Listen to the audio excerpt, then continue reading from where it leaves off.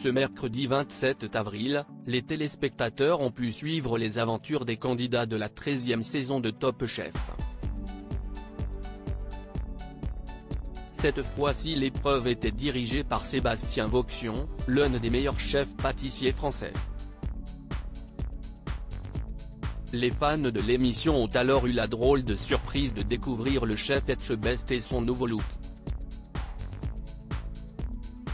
En effet, alors que le chef cuisinier convie les candidats à une dégustation de son plat, la raviole de foie gras aux champignons, les internautes n'ont pas manqué de relever un détail qui n'a laissé personne de marbre, la taille de sa moustache.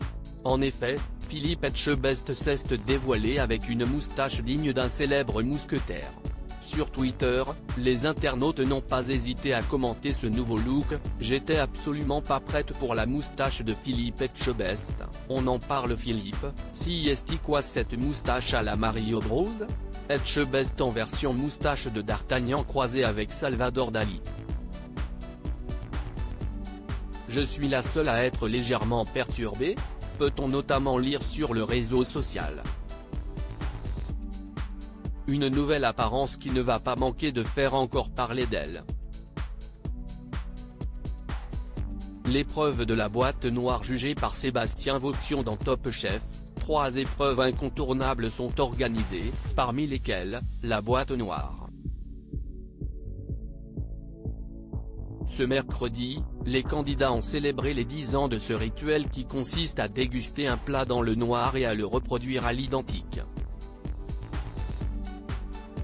Cette année ci est le chef Sébastien Vauxion qui s'est chargé de juger les candidats.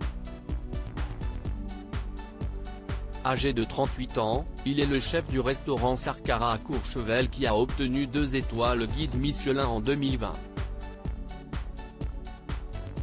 est le premier établissement de dessert gastronomique à avoir obtenu les fameuses étoiles du guide. Loading Widget